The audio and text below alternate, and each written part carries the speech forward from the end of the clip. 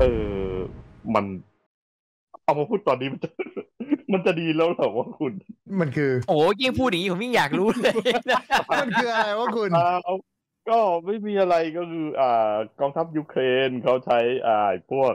เกมมิ่งเกียร์แล้วก็ Discord ในการอ๋อโดรน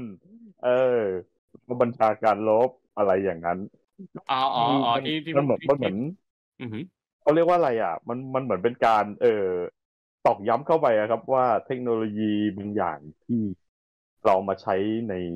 ความบันเทิงอะอืมอ่า ตัวฮาร์ดแวร์อะมันมันก้าวล้ำไปเรื่อยๆเรื่อยๆเรื่อยๆจนถึงขนาดว่า เออ มันสามารถเอามาดัดแปลงใช้กับ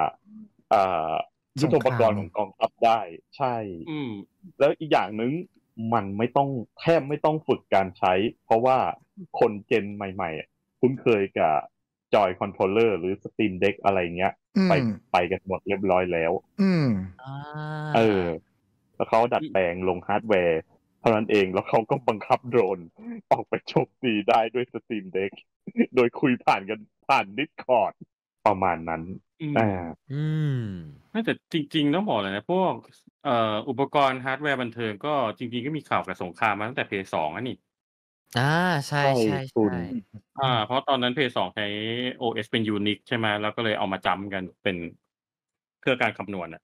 ซูเปอร์คอมพิวเตอร์ เหมือนเขาใช่ใช้ใช่ใช้ใช่ ซูเปอร์สร้างซูเปอร์คอมพิวเตอร์เพื่อคำนวณ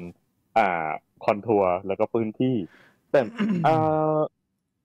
ถ้าจำไม่ผิดมันเป็นทฤษฎีเก่าๆหรือเปล่าคุณเขา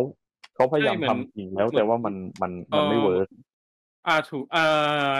เห็นเห็นว่าสุดท้ายเป็นทฤษฎีที่เหมือนว่าไม่ไม่ไม่แน่ใจว่า US หรือ UK ที่เป็นแบบว่าด้วยด้วยไฮเปอร์เทไอไฮเปอร์เทอรี่เนี่ยมันเป็นยูนิคก็เลยคิดว่าอย่างนี้อืมแต่ว่าคนที่ซื้อไปลองทำจริงคืออิรัก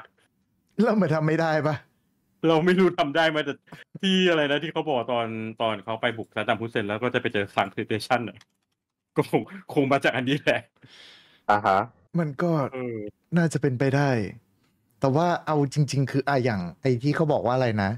อ่าเราเคยได้ยินข่าวมานานละว่าบังคับโดรนอะพวกโดรนอะไรต่างๆ คือโดรนมันไม่ใช่แบบในการ์ตูนที่มันเป็นใบพัดมาเป็นลำเล็กๆแล้วมายิงยิงๆกันแบบนั้นไม่ใช่อะ มันโดรนยุคแรก ๆ มันเป็นเครื่องบินขนาดเล็กอะอือหือแล้วไอ้เครื่องบินขนาดเล็กอะไอ้ตัวนั้นน่ะจำได้ว่าเคยดูข่าวอยู่เหมือนกันว่าคนที่เขาใช้ เป็นอาจารย์ฝึกสอนน่ะแม่งคือใช้จอย Xbox แล้วก็เป็นแบบเหมือนกับเป็นทหารใหม่วัยรุ่นเลย เพราะว่าวิดีโอเกมมันถูกสร้างขึ้นมา โดยที่มันอ p ติ i z e เรียบร้อยแล้วว่าวินี่คือวิธีการบังคับที่ดีที่สุดและง่ายที่สุดอืมก็ดังดังนั้นมันก็เลยกลายเป็นว่า อุปกรณ์ทุกอย่างที่เขาใช้งานกันในภาวะสงครามแม่งก็เลยมีการ implement เอาพวกอุปกรณ์ในเกมมาใช้งานกัน แล้วถ้าบอกว่ามึงคุยผ่าน Discord มึงใช้ อุปกรณ์เกมมิ่งเกียร์ในการต่อสู้ คือกูก็ไม่แปลกใจแล้วเหมือนกันว่าแบบเออมันก็ดูเป็น modern warfare แบบแปลกอืมนั่นก็เข้าใจได้คุณเพราะเอ่อจริงๆเอาเอาอย่างในไทยก็ได้ป่ะนะ อย่างจำได้ว่าน้องน้องๆแต่แป๊บหนึ่งนะ อันนี้ลีกลีกมานี่คือเราเราเราโดนเลยนะคุณ ไม่ใช่หมายถึงว่าอันที่เป็นน้องผู้หญิงที่เขาในในไทยที่ไปแข่งโดรนแล้วชนะอ่าอ่าอ่าอ่าก็ก็จริงๆก็อ๋อก็ก็ control ด้วยจอยแบบนั้นเหมือนกันแหละเราเราเลยเข้าใจได้ว่าอะอันนี้ อันนี้เป็นมันก็ค่อนข้าง clear ว่าอย่างอันนั้นคือน้องเด็กเนาะตอนนี้ยังไม่ถึงสิบแปดมั้งอืมอืมมันก็ clear ว่า เออ ถ้าเด็กเขาจับอย่างนั้นเพื่อ control ได้แล้วสุดท้ายมันมีการพัฒนาไปไปในเพื่อ control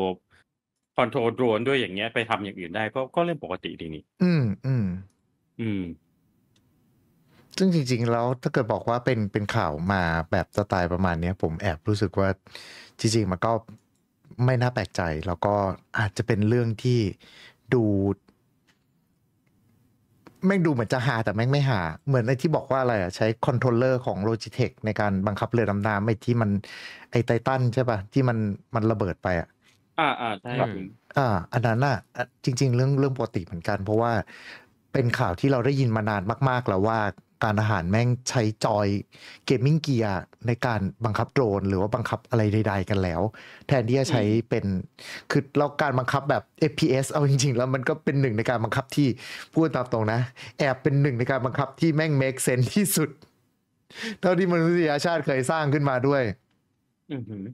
เออยุคแรกดูมันเป็นยังเป็นลูกศรอยู่เลยคุณใช่นั่นแหละ ก็เลยแบบ เออ ไม่แปลกใจ ไม่แปลกใจที่จะใช้งานกัน ประมาณนี้อืมครับอะอืมนั่นแหละครับ ครับ น่าจะประมาณนี้ที่กว่าจะสองชั่วโมงแล้วพูดกันตามตรงคือตอนนี้หัวเริ่มไหลจนกระทั่งแม่งหัวหมดแล้วไอ้เหี้ยช่วงสองสามวันที่ผ่านมาก็ก็ทำงานยาวๆด้วยเหมือนกัน ประมาณนี้นะจ๊ะเชี่ยเหนื่อยนะก่อนนะพูดเหนื่อยหน่อยนะครับ โดยเฉพาะเมื่อกี้ที่สมองน่าจะไหลจริงขอโทษ ใช่ผมแค่จะบอกว่า พอคุณพูดว่าโดรนโดรนโดรนเนี่ย คือเดี๋ยวไปนึกถึงอะไรอีกันนั่นมันกันดำชัดๆ ไม่ค่ะ นั่นคือโดรน โดรนค่ะ ไอ้ยเห็นเห็นอยู่ชัดเลยว่านี่เป็นกันดำกูเป็นคนสร้างค่ะ กูบอกว่ามันคือโดรน แต่กูบอกจะให้มันเป็นกันดั้มมันก็ต้องเป็นกันดั้มสิวะโทษมันมันมันก็ต้องมามุกที่อะไรนะที่มีคนทำแซว ไม่เห็นเกาะกันพาด้วยเหรอ กันดั้มชัดจริงๆ ก็ก่อนจริงๆอาทิตย์ที่แล้วหรือเปล่านะ ก็เพิ่งจบครบหนึ่งปีตอนจบ Wish from Mercury ไปนะครับ อืมๆอืมเออเดินทางมาเร็วมากก็ก็คุณจะคุณจะคุยเรื่องครบรอบจริงๆเหรอ ไม่ไม่แค่แค่เกริ่นเฉยๆว่าเออก็อ๋ออ๋ออ๋ออ๋อดีดีก็เร็วดีเร็วดีนะครับครับ จบมาจบมาปีนึงแล้วอะอือหือ เออ ผมก็เลยแบบ ภาคหน้ามึงเหนื่อยแน่ โอ้นั่นแหละคุณ นั่นแหละคุณ เดี๋ยวก็รอดู เดี๋ยวก็รู้ เดี๋ยวก็รู้ ใช่ เดี๋ยวก็เดี๋ยวก็รู้ ประมาณครับ นี้นะครับ เอาจริงๆแล้ว จริงๆ พูดตามตรงเลยนะ แม่งมีอยู่ภาพหนึ่ง